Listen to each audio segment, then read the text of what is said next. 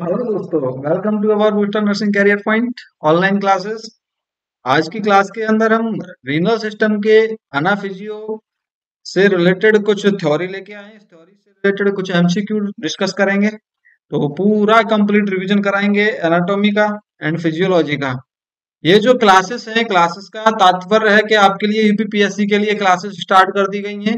UPPSC exam के लिए UPPSC को टारगेट मानकर हम ये थ्योरी आपके लिए लेके आ रहे हैं। थ्योरी के साथ एमसीक्यू क्लास भी आपको दी जाएँगी। इन्हीं क्लासों के साथ में आपको पूरा कंप्लीट रिवीजन कराया जाएगा नर्सिंग सिलेबस का और उसके साथ में आपके अदर जो पार्ट है, वो भी हम आपको कंप्लीट कराएँगे इसी ऑनलाइन क्लासेस के अंदर। तो दोस्तों, ये जो क्लासेस हैं, सभी के लिए बहुत ही इंपॉर्टेंट होने वाली है। ऐसे पर्सन जो कोचिंग कर चुके हैं और ऐसे स्टूडेंट्स जो कोचिंग नहीं कर चुके हैं मतलब जिनकी तैयारी हो चुकी है और जिनकी नहीं हो चुकी है, दोनों के लिए ही इंपॉर्टेंट है। बीपीएससी में क्या क्या इंपॉर्टेंट हो सकता है, उन्हीं चीज़ों को हम डिस्कस कर रहे हैं इन क्लासों के अंदर। चलिए, आज की क्लास हम लेके आए हैं रीनल सिस्टम से रिलेटेड तो रीनल सिस्टम आज की क्लास का टॉपिक रहेगा। क्लियर दोस्तों, ये ओवरव्यू है आपके यूरिनरी सिस्टम का। तो देखिए इसके क्लास के अंदर सबसे पहले यूरिनरी सिस्टम कौन से कौन से ऑर्गन आते हैं? यूरिनरी सिस्टम के अंदर ऑर्गन कौन से कौन से इंक्लूड होते हैं? तो यूरिनरी सिस्टम के अंदर जो ऑर्गन आते हैं, उनको आपको ध्यान में रखना है। यूरिनरी सिस्टम में कौन से कौन से ऑर्गन इंक्लूड होते हैं? तो इसके अंदर किडनी आती है, जो कि नंबर में दो होती है पेयर्ड ऑर्गन होता है यूरेटर यूरेटर आते हैं, जो कि नंबर में, ये भी दो होते हैं, पेयर्ड ऑर्गन है। उसके बाद ब्लैडर ब्लैडर, जो कि नंबर में ओनली एक होता है, उसके बाद यूरेथ्रा यूरेथ्रा, जो कि सिंगल ऑर्गन होता है। तो ध्यान रखना है, पेयर्ड ऑर्गन कौन से कौन से होते हैं? आपसे क्वेश्चन पूछेगा कि पेयर्ड ऑर्गन कौन से कौन से होते हैं? तो ये दो पेयर्ड ऑर्गन होते हैं, यूरिनरी सिस्टम के अंदर। यूरिनरी सिस्टम के अंदर। क्लियर दोस्तों? तो ये डायग्राम में भी आपको दिख रहा होगा, ये रीनल किडनी किडनी के बाद ये यूरेटर यूरेटर बोथ साइड से ये ब्लैडर के लिए जा रहे हैं और ये ब्लैडर और यहाँ से फिर क्या है? यूरेथ्रा पास आउट हो रही है। क्लियर दोस्तों? तो ये आपके लिए एक ओवरव्यू हो गया आपको यूरिनरी सिस्टम का, कौन से कौन से ऑर्गन आते हैं, कौन से ऑर्गन की हम इसके अंदर स्टडी करने वाले हैं। तो आपको समझ में आ गया होगा, ये सारे के सारे ऑर्गन हम इसके अंदर पढ़ने वाले हैं। अब हम चल रहे हैं एनाटॉमी ऑफ़ किडनी तो सबसे पहले किडनी को हम स्टार्ट कर रहे हैं, उससे पहले हम कुछ टर्मिनोलॉजी के बारे में जानते हैं, जैसे कि नेफ्रोलॉजी नेफ्रोलॉजी नेफ्रोलॉजी वर्ड या टर्मिनोलॉजी जो हम देते हैं, किसके लिए यूज़ की जाती है? हम इसके अंदर स्टडी करते हैं किसकी? Study of nephron nephron nephron की स्टडी करना नेफ्रोलॉजी कहलाता है। नेफ्रोलॉजी कहलाता है। आपको ध्यान में रखना है, किडनी आपके पास दो हैं। एक जो दोनों किडनी है, उनके पास में कितने नंबर में नेफ्रॉन रहते हैं? तो समथिंग आपको ध्यान रखना है something something 1.2 million nephron has each kidney has each kidney एक किडनी के पास समथिंग 1.2 मिलियन नेफ्रॉन होते हैं। एक किडनी के पास होते हैं ये। दोनों किडनी को मिला के इसके डबल हो जाएँगे। तो एक किडनी के पास में 1.2 मिलियन नेफ्रॉन होते हैं। क्लियर दोस्तों? जो नेफ्रॉन होते हैं, आपसे क्वेश्चन पूछा जाएगा structural and functional unit structural and functional unit बहुत सिंपल सा क्वेश्चन जो कि पीछे आपको एग्ज़ाम में देखने को मिलता था, अभी नहीं आता है, लेकिन आपको पता होना चाहिए structural and functional unit of kidney unit of kidney kidney की स्ट्रक्चरल एंड फंक्शनल यूनिट कौन सी होती है? तो आपको आंसर करना है नेफ्रॉन आंसर करना है नेफ्रॉन दूसरा आपको ऐसे नहीं पूछेगा, घुमा के भी पूछ सकता है excretory unit of kidney excretory unit of kidney unit of kidney. क्योंकि वो तो पुराना होगा क्वेश्चन ऊपर वाला, आपसे पूछ सकता है कि एक्सक्रेटरी यूनिट कौन सी होती है किडनी के अंदर, तब भी आपको आंसर करना है नेफ, तब भी आपको आंसर करना है नेफ्रॉन। क्लियर दोस्तों? इतना आई होप की समझ में आया होगा आपको। एक क्वेश्चन और पूछ सकता है आपसे, इसी से रिलेटेड। आपसे पूछेगा filtration filtration and functional unit of kidney. Filtration and functional unit of kidney functional unit of kidney तब भी आपको आंसर करना है क्या? नेफ्रॉन तो एक क्वेश्चन को कई बार घुमा घुमा के पूछ सकता है, वो आपको याद रखना पड़ेगा। Structural and functional unit kidney की पूछता है तो आपको आंसर करना होगा नेफ्रॉन एक्सक्रेटरी यूनिट करता है, तब भी आपको आंसर करना है nephron filtration and functional unit पूछता है, तब भी आपको आंसर करना है नेफ्रॉन क्लियर दोस्तों? चलिए, इसी के साथ में अब हम आपके लिए बताते हैं जो एनाटॉमी है किडनी की पोजीशन वगैरह के बारे में। पोजीशन वेट एंड साइज़ आपको दिख रहा होगा पोजीशन कौन सी होती है? तो किडनी आपका रेट्रोपेरिटोनियल ऑर्गन होता है। कौन सा ऑर्गन है? रेट्रोपेरिटोनियल ऑर्गन होता है। कौन से लेवल पे सिचुएटेड रहती है? तो आपको आंसर करना है T twelve to L three vertebra पे प्रेजेंट रहती है। किडनी की जो लोकेशन है थोरेसिक ट्वेल्व से लेके लुम्बर थ्री वर्टिब्रा तक ये क्या रहेगी? सिचुएटेड रहेगी। इस वाले रीजन को किस नाम से जानते हैं? तो आपको आंसर करना इस रीजन को जानते हैं। किडनी जो होती है, वो फ्लैंक रीजन में रहती है। फ्लैंक रीजन में रहती है। कौन से रीजन में किडनी सिचुएटेड होती है? फ्लैंक रीजन में। टी ट्वेल्व से लेके एल थ्री का जो लेवल है, उसी को हम फ्लैंक रीजन बोलते हैं। समथिंग आपको फिर क्वेश्चन पूछ सकता है कि किडनी का वेट कितना होता है? तो किडनी का वेट होता है something 160 gram each kidney. Something हम एवरेज में याद कर सकते हैं 150 ग्राम। Each kidney. एक किडनी का जो वज़न होता है, वो कितना होता है? समथिंग 150 ग्राम की एक किडनी देखने को मिलती है। क्लियर दोस्तों? समझ में आ रहा होगा ये? नेक्स्ट आपसे क्वेश्चन कर सकता है कि किडनी का साइज़ क्या होता है? किडनी का साइज़ क्या होता है? तो किडनी का साइज़ होता है दोस्तों 12 सेंटीमीटर इसकी लंबाई होती है 6 सेंटीमीटर इसकी बिड्थ होती है मतलब चौड़ाई होती है, और इसकी जो थिकनेस है, यानी कि मोटाई है, इसकी वो कितनी है, तीन सेंटीमीटर होती है। तो आपको तीनों चीज़ याद रखनी है लेंथ पूछे तो 12 सेंटीमीटर बिड्थ पूछे तो 6 सेंटीमीटर और थिकनेस पूछे तो आंसर करना है आपको तीन सेंटीमीटर थ्री सेंटीमीटर क्लियर दोस्तों? ये आपका क्वेश्चन यहाँ से पीछे भी पूछा गया है और आगे आपसे पूछने के चांसेस बनते हैं। नेक्स्ट अगर आपसे किडनी का सेप पूछे, किडनी का सेप कैसा होता है तो आपको वन वर्ड आंसर करना है। किडनी जो होती है बीन सेप की होती है। किडनी का सेप कैसा होता है? बीन सेप का होता है। क्लियर नेक्स्ट किडनी के हम बात करेंगे कवरिंग की। किडनी की कवरिंग कौन सी कौन सी होती है? तो आपको किडनी की कवरिंग में आपको याद रखना है एक सबसे ऊपर रीनल फेसिया देखने को मिलेगी, उसके बाद एडिपोज कैप्सूल देखने को मिलता है आफ्टर दैट रीनल कैप्सूल देखने को मिलता है। कितने? इसकी तीन कवरें हैं किडनी की, जो कि कनेक्टिव टिश्यू की बनी हुई हैं। किडनी की कवरिंग किसके द्वारा बनी हुई है? कनेक्टिव टिश्यू के द्वारा बनी हुई होती है। फ़र्स्ट होती है रीनल फेसिया सेकंड होती है एडिपोज कैप्सूल और थर्ड होती है रीनल कैप्सूल रेनल कैप्सूल जो सबसे आउटर वाली है, वो रीनल फेसिया होती है, जो कि एब्डोमिनल वॉल से अटैच रहती है।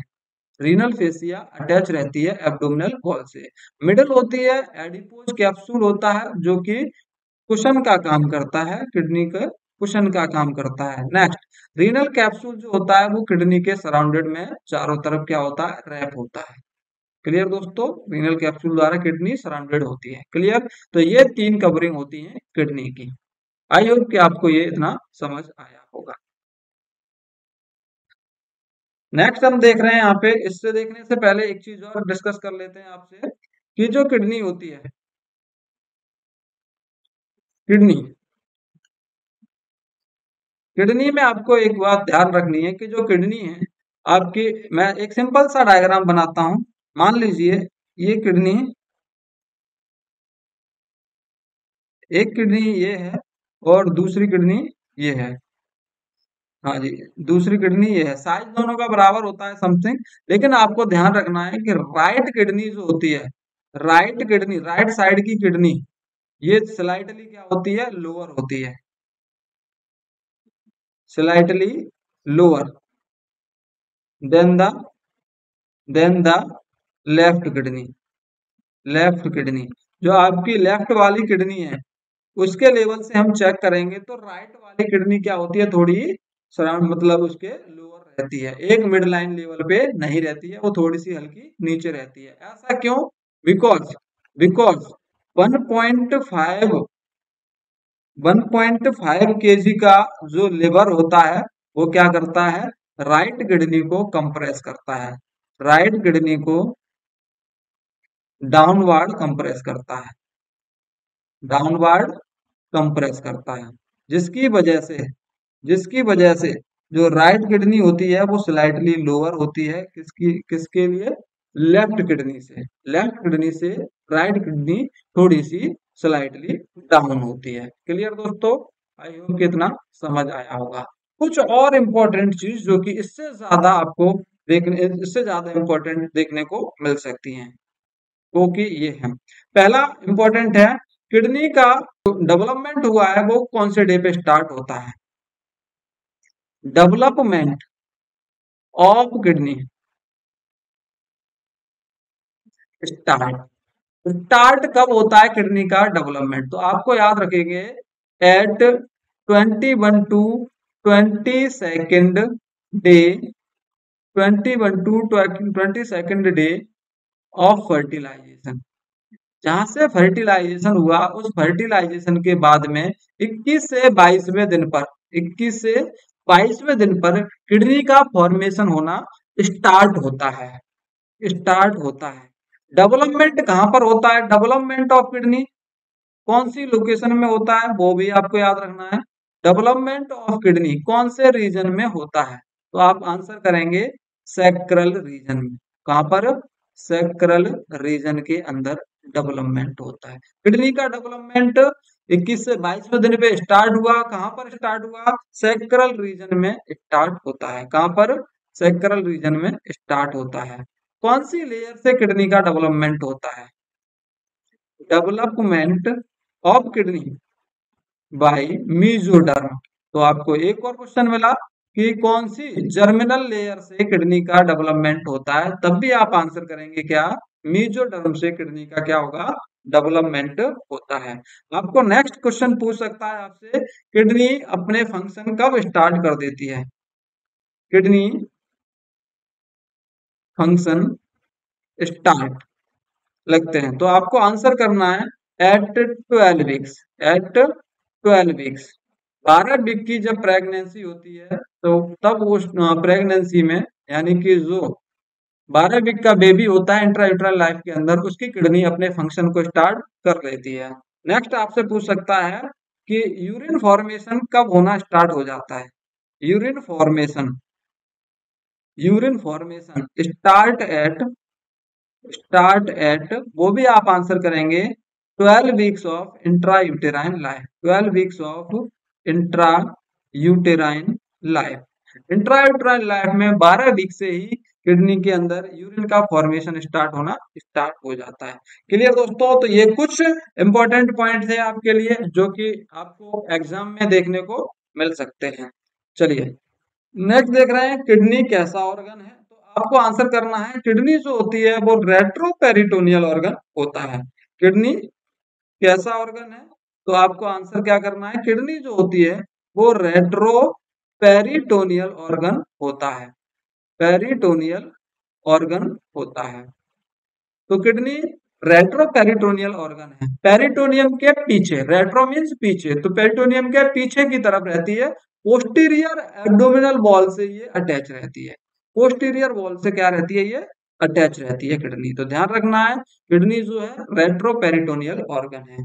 इसके साथ में आप याद रख पाएँगे, इस इमेज के साथ में देखिएगा, कौन से कौन से अपनी बॉडी में रेट्रोपेरिटोनियल ऑर्गन होते हैं? कौन से कौन से? किडनी के अलावा और रेट्रोपेरिटोनियल ऑर्गन है। तो आप आंसर करेंगे right adrenal gland retroperitoneal organ होता है। राइट किडनी रेट्रोपेरिटोनियल ऑर्गन है। पेनक्रियाज रेट्रोपेरिटोनियल ऑर्गन है।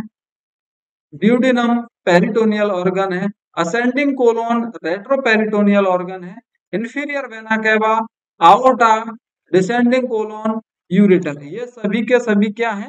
पेरिटोनियल ऑर्गन होते हैं। सॉरी रेट्रो पेरिटोनियल ऑर्गन होते हैं। रेट्रो मीन समझ में आया होगा आपसे। रेट्रो का मीन्स होता है पीछे बिहाइंड है ना? तो ये सारे के सारे एब्डोमन में पीछे की तरफ़ सिचुएटेड होते हैं। क्लियर दोस्तों? दूसरा आपको याद रखना है, जब ये रेट्रोपेरिटोनियल ऑर्गन है दूसरा आपसे पूछ सकता है पेरिटोनियल ऑर्गन कौन से कौन से होते हैं? पेरिटोनियल बोले तो जो पेरिटोनियल कैविटी के अंदर प्रेजेंट होते हैं, उनको हम बोलते हैं पेरिटोनियल ऑर्गन तो पेरिटोनियल स्ट्रक्चर कौन से कौन से होते हैं? लिवर लिवर क्या है आपका? पेरिटोनियल ऑर्गन है. Gall bladder spleen stomach jejunum caecum and transverse sigmoid these all are the peritoneal structure और लास्ट आपको याद रखना है infra peritoneal organ infra peritoneal organ पूछे तो आपको आंसर करेंगे lower rectum bladder and male reproductive organ जितने भी होते हैं, वो सारे के सारे इंफ्रा पेरिटोनियल ऑर्गन होते हैं। मीन्स पेरिटोनियल कैविटी के नीचे की तरफ़ सिचुएटेड होते हैं, उनको बोला जाता है इंफ्रा पेरिटोनियल ऑर्गन क्लियर दोस्तों? Retro peritoneal organ peritoneal organ और infra peritoneal organ these all are organ situated in this slide तो इसको सही से देखें और इनको लर्न करें।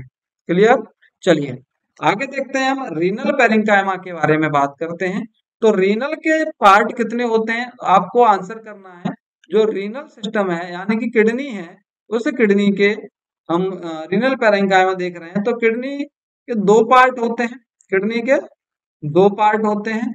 एक तो होता है रीनल कॉर्टेक्स रीनल कॉर्टेक्स और दूसरा पार्ट होता है रीनल मेडुला एक रीनल कॉर्टेक्स हो गया और दूसरा कौन सा है? रीनल मेडुला ये दो पार्ट होते हैं किडनी के. रीनल कॉर्टेक्स के अंदर कॉर्टिकल कॉर्टिकल आर्केस आते हैं और दूसरा रीनल कॉलम आते हैं. रीनल कॉलम जबकि हम बात करेंगे रीनल मेडुला की तो रीनल मेडुला के अंदर पिरामिड आते हैं पिरामिड आते हैं, रीनल पेपिला आते हैं, रीनल पेपिला। इसी के साथ में आपको जब मैं डायग्राम दिखाऊँगा इसका बना के दिखाऊँगा आगे जाके तो वहाँ पे और भी आपको पार्ट इनके भी अंदर और और पार्ट होते हैं, वो आपको सारे क्लियर हो जाएँगे। तो यहाँ पे ध्यान रखना, रीनल यानी कि किडनी है, उसका रीनल कॉर्टेक्स और रीनल मेडुला दो पार्ट होते हैं। रीनल कॉर्टेक्स के अंदर cortical arcs and renal column पड़ते हैं जबकि रीनल मेडुला के अंदर पिरामिड एंड रीनल पेपिला की स्टडी की जाती है। क्लियर दोस्तों? चलिए। नेक्स्ट देखिए किडनी का स्ट्रक्चर आपको दिखाई दे रहा होगा। किडनी का स्ट्रक्चर मैं भी एक आपके लिए बनाता हूँ किडनी का स्ट्रक्चर जिससे कि आप भी इसको अच्छे से बना पाए। तो इस तरह से आप एक ऑर्गन बनाएँगे।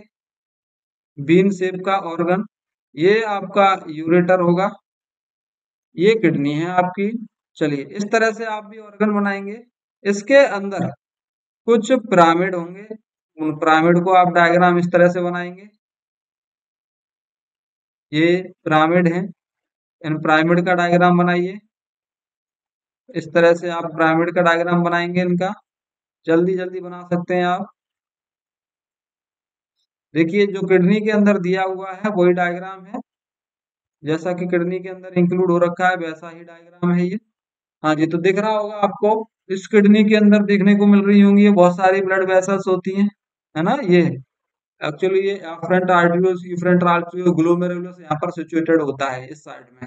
ये जो पार्ट होता है, ये वाला जो पार्ट होता है, इसको हम बोलते हैं रीनल कॉर्टेक्स इसको हम बोलते हैं रीनल कॉर्टेक्स ये आपको कलर विजिबल नहीं होगा तो मैं इस तरह से लिख दे रहा हूँ renal cortex renal cortex kidney का आउटर पार्ट होता है और मिडिल जो पार्ट होता है, उसको हम बोलते हैं रीनल मेडुला अब यहाँ से जो अंदर का पार्ट ये बचा हुआ है, इसको हम बोलते हैं रीनल मेडुला तो रीनल के दो पार्ट रीनल कॉर्टेक्स और रीनल मेडुला तो देखिए यहाँ पर कॉर्टेक्स पार्ट आपका ये है आउटर और रीनल मेडुला पार्ट ये है। रीनल मेडुला पार्ट यहाँ से इतना जो पार्ट है, ये वाला, ये यहाँ से लेके अंदर अंदर का वो पार्ट कौन सा है? रीनल मेडुला पार्ट होता है। तो दो पार्ट हैं, एक तो रीनल कॉर्टेक्स और रीनल मेडुला तो पिछले इसमें देखिएगा रीनल कॉर्टेक्स के अंदर कॉर्टिकल आर्क्स आते हैं और रीनल कॉलम आते हैं, जबकि रीनल मेडुला में पिरामिड भी आते हैं और रीनल पेपिला भी आते हैं। तो ये जो पिरामिड है, ये ये क्या है? पिरामिड है। ये किसके अंदर आते हैं? रीनल मेडुला पार्ट के अंदर आते हैं। तो यहाँ से देखिए, यहाँ से लेके अंदर का जो इतना स्ट्रक्चर है, ये सारा का सारा किसमें आएगा? मेडुला में आएगा। तो मेडुला के अंदर ये रिनल कॉर्टेक्स हैं ये सारे के सारे। ये रिनल कॉर्टेक्स जो होते हैं, इनके पास एक ओपनिंग होती है सबके पास में, जिसको रीनल पेपिला के नाम से जानते हैं। रीनल पेपिला के नाम से जानते हैं। तो ये रेनल पेपिला होंगे। यानी कि ओपनिंग होती है सभी कॉर्टेक्स के पास में, वो रीनल पिरामिड के पास में, उस ओपनिंग को हम जानते हैं रीनल पेपिला के नाम से। रीनल पेपिला के नाम से जानते हैं। क्लियर दोस्तों? ये आपको क्लियर होगा। चलिए, इसके बाद आपको देखने को मिलेगा यहाँ पर। इसके बाद यहाँ पर कुछ होते हैं मेजर कैलिक्स क्या होंगे? मेजर कैलिक्स उसके बाद में यहीं पे आपको एक स्ट्रक्चर दिखाई देगा। उसको हम बोलते हैं माइनर कैलिक्स इसको क्या बोलेंगे? माइनर कैलिक्स मेजर कैलिक्स और माइनर कैलिक्स आपको इसी मेडुला पार्टी के अंदर दिखाई देता है। उसके बाद ये जो इतना स्पेस बचता है, इसको हम बोलते हैं रीनल पेल्विस इसको हम क्या बोलेंगे? रीनल पेल्विस ये जो स्ट्रक्चर बचा हुआ है, ये वाला इसको हम बोलते हैं रीनल पेल्विस तो ये किडनी का ऑर्गन है किडनी ऑर्गन है, जिसके अंदर अलग अलग पार्ट आपको दिखाई दे रहे हैं। तो देखिए यहाँ पर सबसे ऊपर कॉर्टिकल ग्रेन्यूल्स हमने देखा ग्लोमेरुलस ये यहीं पे सिचुएटेड होता है। ये आपको डायग्राम समझ में आना चाहिए, क्योंकि अभी हम इससे और थोड़ा सा अंदर जाएँगे डायग्राम के अंदर। इतना आप समझ लीजिए पहले। ये समझ लीजिए, ये जो मैंने स्ट्रक्चर बनाया है, इतना आपको डायग्राम में दिख रहा होगा, ये क्या है? ये पिरामिड शेप के इन्हीं को हम रीनल पिरामिड के नाम से जानते हैं। रीनल पिरामिड और पिरामिड के पास में, सभी पिरामिड के पास में क्या होती है? एक ओपनिंग प्रेजेंट रहती है। सभी पिरामिड के पास में एक ओपनिंग प्रेजेंट रहती है। हम्म तो ध्यान रखना, सभी पिरामिड के पास में क्या होगी? ओपनिंग प्रेजेंट होगी। ये जो पार्ट है उसके बाद ये जो स्पेस है, इसको रीनल पेल्विस के नाम से जानते हैं। इसके अंदर कुछ ब्लड सप्लाई भी होती है। ये रीनल आर्टरी है ये वाली। यहाँ क्या कर यहाँ से क्या जाएगा? ब्लड जाएगा किडनी को सप्लाई होगा। रीनल वेन है, यहाँ से ब्लड क्या आएगा? बाहर की तरफ़ आता है, जो कि इंफीरियर वेना केवा में जाके मिक्स हो जाता है। क्लियर ये आपको दिख रहा होगा। चलिए, ये रीनल कैप्सूल है, सबसे आउटर लेयर है, सबसे आउटर लेयर तो ये डायग्राम आपको क्लियर हुआ होगा। क्लियर? इस डायग्राम की आप स्क्रीनशॉट ले सकते हैं।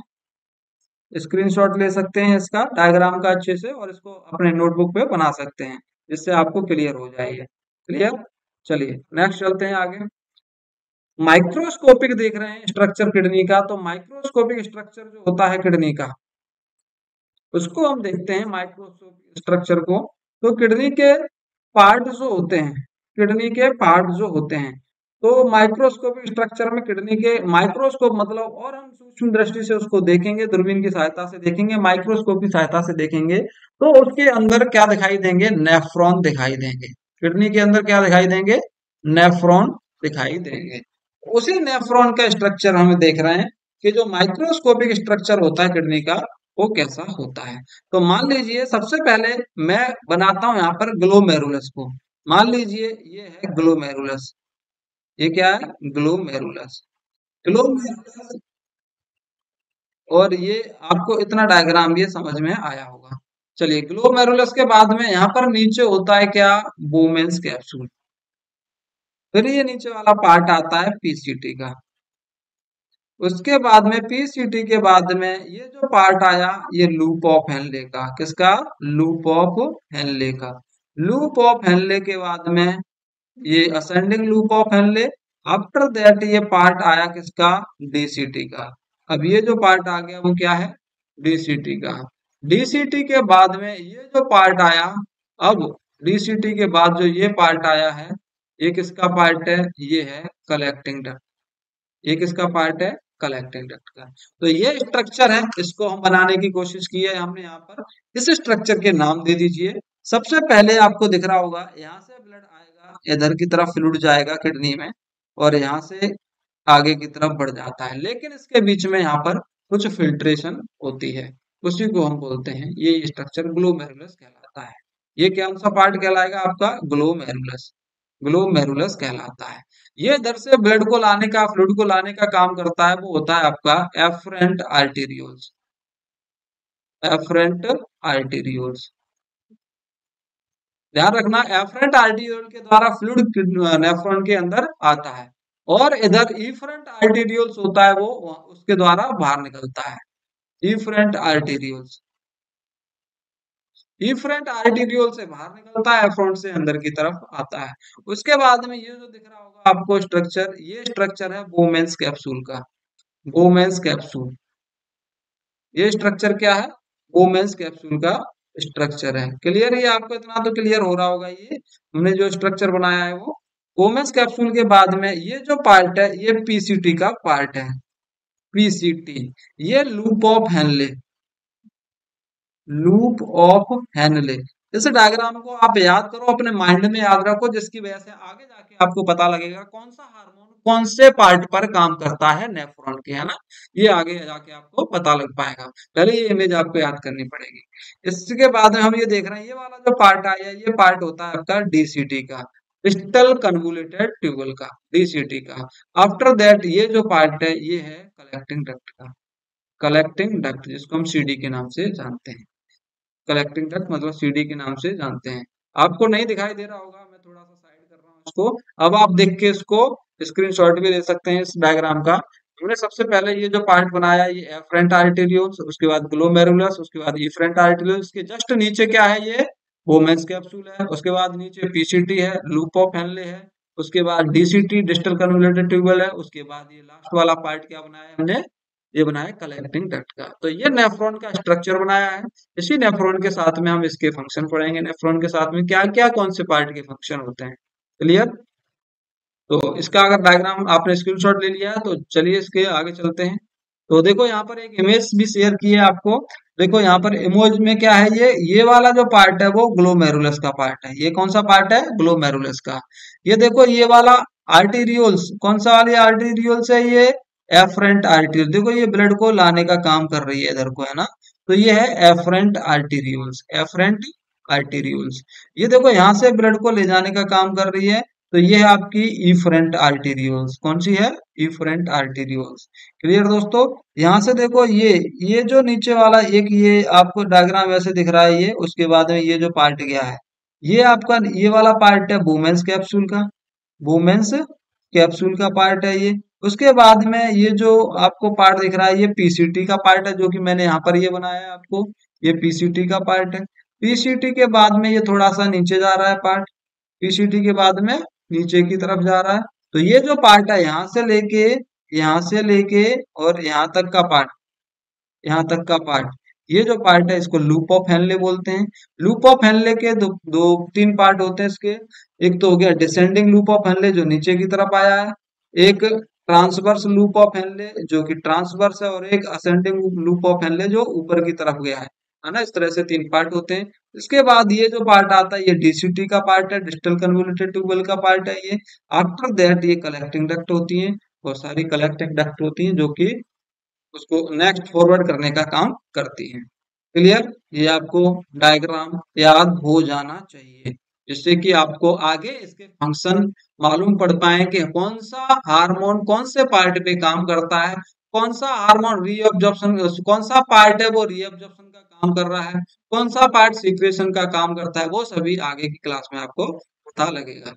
क्लियर तो देखिए आगे की तरफ़। आगे चलते हैं इसके बाद में।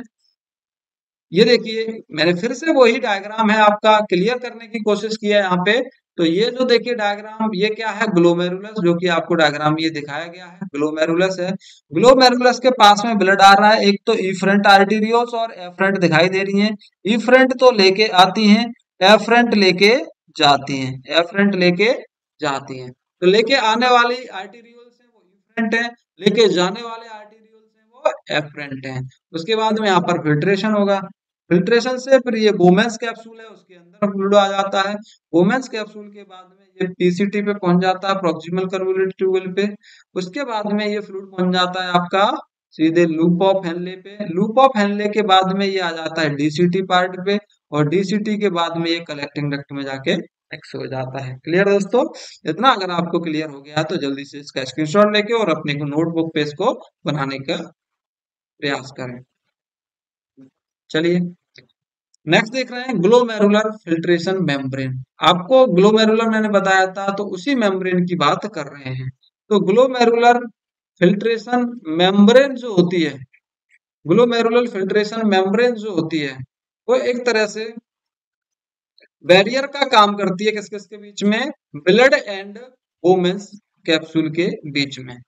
ब्लड एंड वोमेंस कैप्सूल के बीच में बैरियर का काम करती है, जो कि तीन लेयर से मिलके बनी होती है। कंपोज्ड बाई थ्री लेयर कौन सी कौन सी तीन लेयर होती हैं? एक होती है एंडोथीलियल कैपिलरीज सबसे पहली ऊपर की तरफ़ होती है एंडोथीलियल कैपिलरीज पहली एंडोथीलियल कैपिलरीज उसके बाद होती है बेसमेंट मेम्ब्रेन बेसमेंट मेम्ब्रेन और उसके बाद होती है एपिथीलियल सेल एपिथीलियल सेल या फिर हम इसको जानते हैं पोडोसाइट के नाम से। पोडोसाइट के नाम से जानते हैं। तो इस तरह से तीन लेयर होती हैं किसकी? ग्लोमेरुलर फिल्ट्रेशन मेम्ब्रेन की। जो कैपिलरी एंडोथीलियल होती है, उसके अंदर क्या होते हैं? कुछ स्पोर्स प्रेजेंट होते हैं, जिनको हम फेनिस्ट्रेशन के नाम से जानते हैं ओपनिंग प्रेजेंट होती हैं, जिनका, जिनको हम किस नाम से जान रहे हैं? फेनिस्ट्रेशन के नाम से जानते हैं। और ये फेनिस्ट्रेशन का साइज़ कितना होता है? मतलब ओपनिंग का साइज़ कितना होता है? तो आप आंसर देंगे less than less than 100 NM से कम होती है। या फिर हम बोल सकते हैं समथिंग इसका जो साइज़ होता है 70 से 80 एनएम होता है। 70 से 80 एनएम नैनोमीटर साइज़ होता है। चलिए बैरियर हो गए तीनों, हमने अभी तो डिस्कस किए। तीनों बैरियर अभी हमने डिस्कस किए थे अभी पीछे वाली क्लास के अंदर। देखिए, यहाँ पर एक एंडोथिलियल कैपिलरीज दूसरी बेसमेंट मेम्ब्रेन तीसरी एपिथीलियल मेम्ब्रेन एंडोथिलियल एंडोथीलियल दूसरी बेसमेंट मेम्ब्रेन बेसमेंट मेम्ब्रेन और तीसरी एपिथीलियल इस तरह से ये तीन क्या हो गए? बैरियर का काम करते हैं। यहाँ पे देखो डायग्राम के अंदर, ये थोड़ा सा डायग्राम जूम करके लिया गया है। उसी माइक्रोस्कोपिक स्ट्रक्चर को क्या कर दिया है? जूम कर दिया है। और यहाँ पर हमने देखा है, ये जो है ग्लोमेरुलस है, बहुत सारी कैपिलरीज से मिलके बना होता है। टफ टॉप कैपिलरीज प्रेजेंट होती हैं। जो ये कैपिलरीज लाने का काम कर रही है, इसको एफरेंट आर्टीरियोल्स बोलते हैं। यहाँ से फ्लूड को ले जाने का काम करती है, उसको इफरेंट आर्टीरियोल्स बोलते हैं। बीच में ये फिल्ट्रेशन होता है, इसके अंदर प्लाज्मा पार्ट भी होता है प्रोटीन भी होता है, बहुत सारे कंटेंट्स प्रेजेंट रहते हैं। और ये जो स्ट्रक्चर आपको दिखाई दे रहा है ये स्ट्रक्चर होता है आपका कौन सा वोमेंस कैप्सूल का। कौन सा स्ट्रक्चर है ये? वोमेंस कैप्सूल का होता है। यहीं से वाटर सॉल्यूट्स सोडियम वगैरह यहीं से निकलते हैं और आगे जाके अलग अलग पार्ट में जाके एब्जॉर्ब होने का काम करते हैं। एब्जॉर्ब हो जाते हैं अलग अलग क्लियर ये स्ट्रक्चर है जिसको हमने जूम करके इधर बनाया है। पीसीटी की देख रहे हैं। एक एक करके जो स्ट्रक्चर था, हम उन सब की बात कर रहे हैं। सबसे पहले हम बात कर रहे हैं पीसीटी की। मतलब आपने देखा था अभी, ये ग्लोमेरुलर था। ग्लोमेरुलर के पास ये एफरेंट और इफरेंट आर्टेरियोल्स थे। उसके पास में वोमेंस कैप्सूल था। वोमेंस कैप्सूल के बाद में ये जो पार्ट था, ये वाला जो पार्ट था, ये पार्ट कौन सा था? पीसीटी का। पीसीटी का पार्ट था ये। पीसीटी के बाद में ये लूप ऑफ़ हेनले था। लूप ऑफ़ हेनले के बाद में ये आगे जाके डीसीटी का पार्ट था। डीसीटी के बाद में जाके ये कौन सा पार्ट था आगे? ये वाला पार्ट था आपका कलेक्टिंग क्लियर ये डायग्राम आपका था। तो सबसे पहले हम इस बात, पार्ट की बात कर रहे हैं। इस पार्ट को बोला जाता है PCT PCT proximal convoluted tubule proximal convoluted tubule ये जो पार्ट है प्रोक्सिमल कन्वुलेटेड ट्यूबुल इसके फ़ंक्शन देख रहे हैं। सबसे पहले रीअब्जॉर्प्शन का काम करता है। किस किस को रीअब्जॉर्ब करा लेता है? मतलब यहाँ से जो फ्लूड जाता है, उस फ्लूड के द्वारा। इसके अंदर सोडियम भी होगा वाटर भी होगा, इसके अंदर अमाइनो एसिड भी होगा, इसके अंदर पोटेशियम होगा यूरिया भी होगी। बहुत सारे कंटेंट्स होते हैं ब्लड के अंदर, वो सभी के सभी फिल्ट्रेशन द्वारा यहाँ आ जाते हैं। लेकिन उन सभी को ये बाहर नहीं जाने देता है। ये यहाँ पर क्या कराएगा?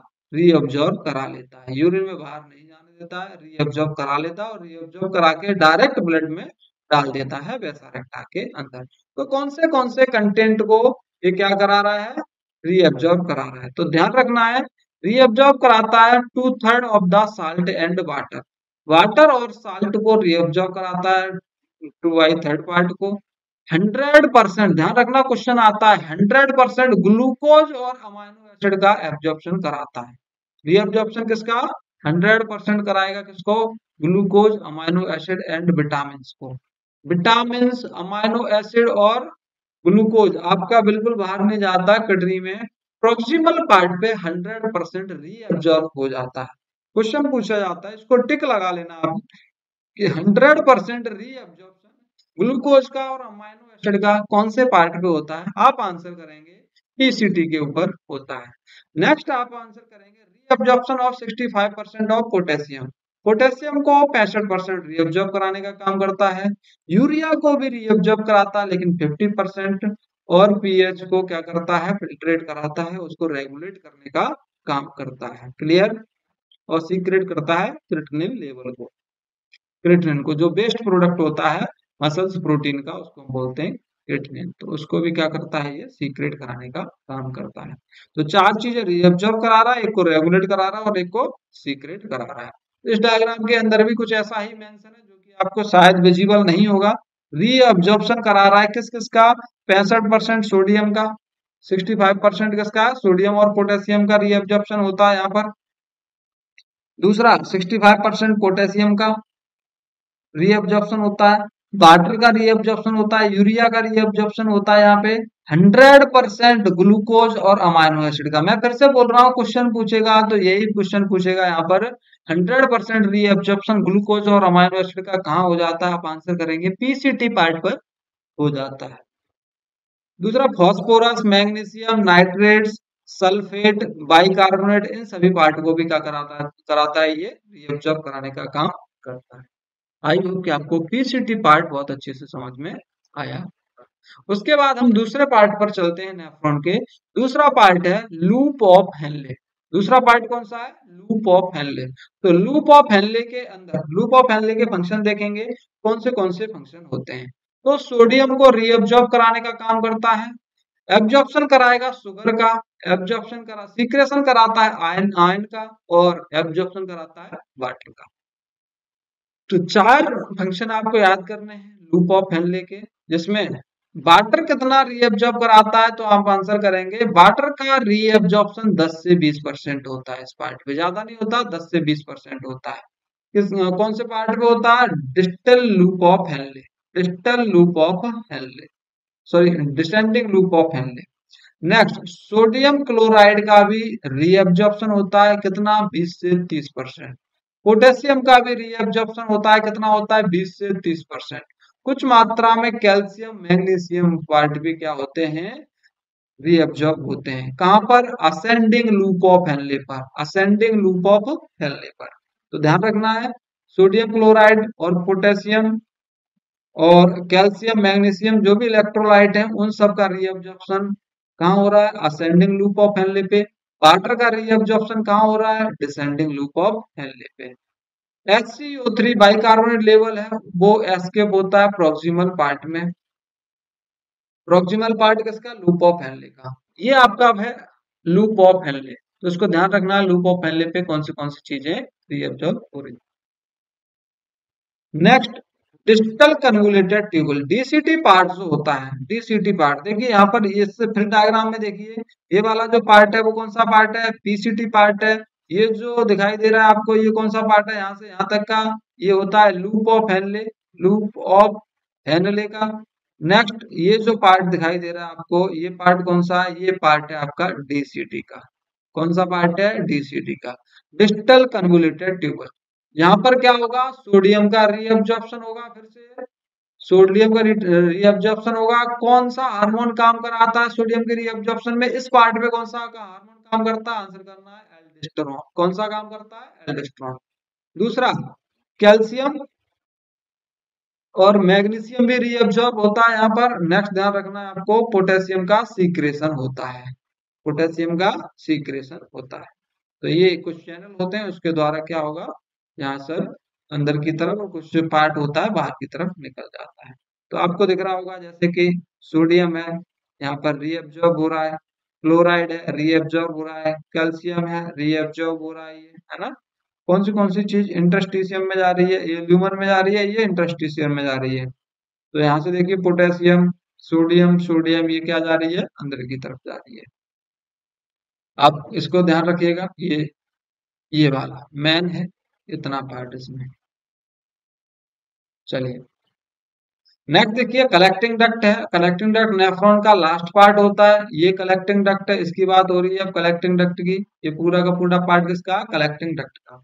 तो ये रीअब्जॉर्ब कराएगा सोडियम एंड वाटर को, लेकिन कितना परसेंट पाँच परसेंट सोडियम वाटर को रीअब्जॉर्ब कराता है। नेक्स्ट इसी में याद रखना है। अगर आपके अंदर ड्राइड्रेशन हो रहा है ड्राई हो गए, आप डिहाइड्रेशन हो रहा है तो ज़्यादा एडीएच का सीक्रेशन होगा।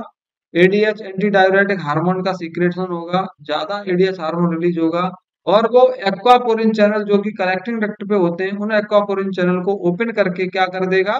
रीअब्जॉर्ब कराएगा किसको? वाटर को। वाटर का रीअब्जॉर्प्शन बहुत ज़्यादा बढ़ा देता है।